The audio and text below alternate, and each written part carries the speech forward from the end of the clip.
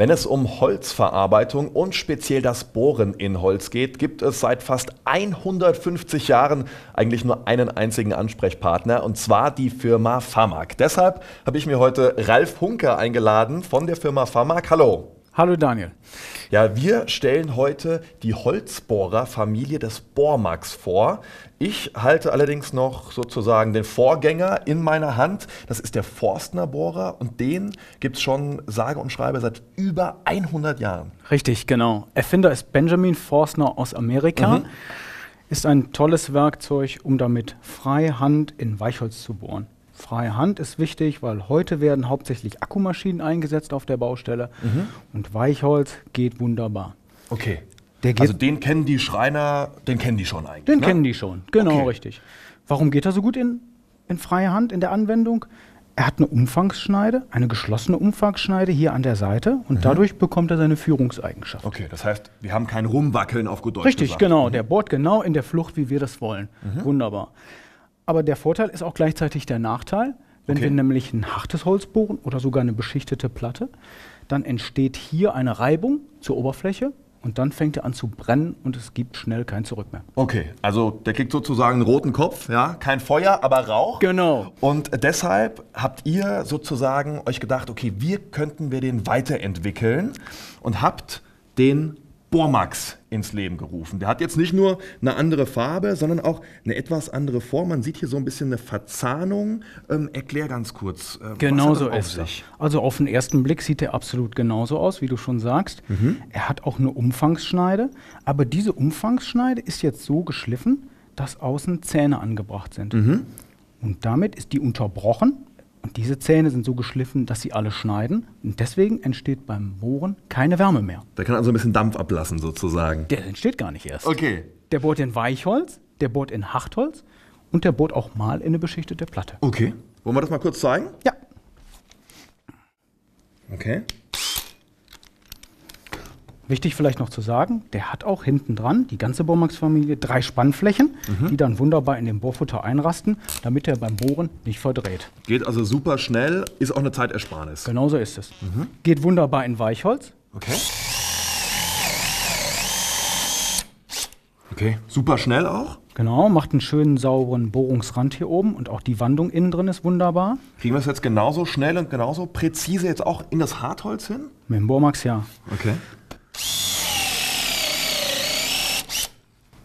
Okay, also super Ding, ja, also von der Geschwindigkeit geht genau gleich schnell. Geht genau gleich schnell, macht einen schönen Span mhm. und jetzt fühl mal, der ist überhaupt nicht heiß. Nee, kann man Cocktail mit kühlen sozusagen. Genau. Das ja. ist das Geheimnis des Bohrmax, weil diese Zähne alle schneiden. Okay, und mit dem könnte man jetzt auch in die beschichtete Platte bohren? Genau, wenn man mal in eine beschichtete Platte bohren möchte, geht das wunderbar. Okay dann lasse ich ihn etwas langsamer laufen. Mhm. Aber wenn man jeden Tag eine beschichtete Platte oder in harte Oberflächen bohrt, dann ist eigentlich das Hartmetallwerkzeug das Richtige. Okay, genau, denn das wollte ich gerade sagen.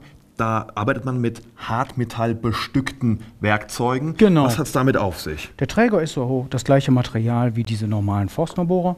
Und man hat hier jetzt Hartmetall eingelötet. Mhm. Hartmetall ist dafür bekannt, dass es sehr widerstandsfähig ist geht mhm. in harte Oberflächen sehr gut, verschleißt nicht so schnell. Mhm. Das Problem von diesem sogenannten Kunstbohrer ist aber, dass der keine Führungseigenschaft hat. Wollte ich gerade sagen, der hat keine Führungsschiene jetzt Genau mehr. so ist das. Der hat zwei Vorschneider und wie die anderen zwei Hauptschneider eine Zentrierspitze, aber er hat keine Führungsschneide und deswegen führt er nicht gut. Mhm. Wenn ich jetzt hier bohren würde, freihand und ich setze ihn nicht ganz gerade an, dann rattert der so übers Holz. Okay, und das äh, würde ich ja bei mir zu Hause auf der Arbeitsplatte nicht so gerne haben. Wahrscheinlich hast du nur einen Versuch. da ist ja schon ein Muster drin, ja, genau. nicht selbst eins machen, ja?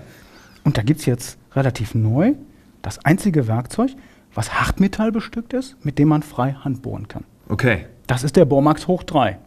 Schaust dir an, mhm. Zentrierspitze, Hartmetall, die beiden Schneiden in Hartmetall, hier ist eine Umfangsschneide, wie beim normalen Bormax. Wollte gerade sagen, von der Optik her ist er dem normalen Bormax sehr ähnlich. Man sieht allerdings hier das Hartmetall in genau. drin. Genau. Ne? Hier vorne auch ein Vorschneider in mhm. Hartmetall. Und das ist das erste Werkzeug, was wunderbar in Weichholz geht, aber auch in Hartholz. Wir machen mal ein Loch. Mhm.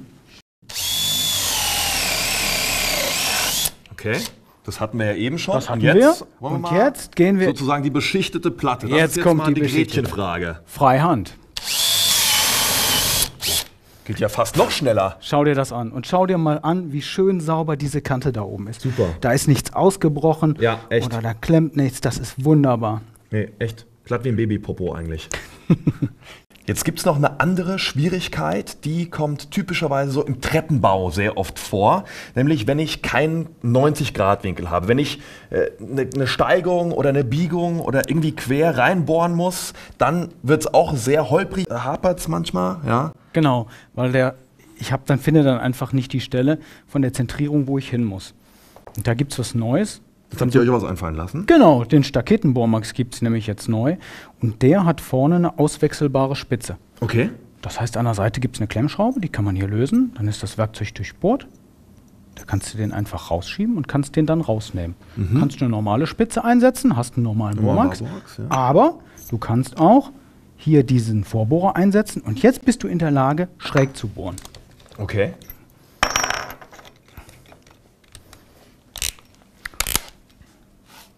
Setzen, ich setze den immer erst so ein bisschen gerade an und dann halte ich den schräg und bohre dann fertig. Okay.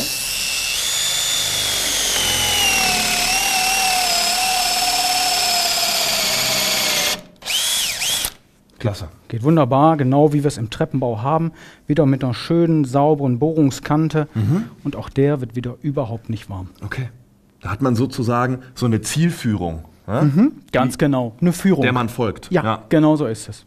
Das Allerwichtigste, das ist, glaube ich, auch für viele Zuschauer nochmal sehr wichtig, es gibt den Bormax in sämtlichen Größen. Ihr habt hier so schöne Sets auch vorbereitet. Man kann sich die Größen aber auch einzeln zusammenkaufen. Richtig, genau. Bei uns gibt es die Werkzeuge im Set, da gibt es auch schon mal einen tollen Preis. Und es gibt sie fast in jedem einzelnen Durchmesser. Und da gibt es auch so Durchmesser wie 19 und 21 und 23 und 33. Also alles das, was es üblicherweise sonst nicht gibt. Okay.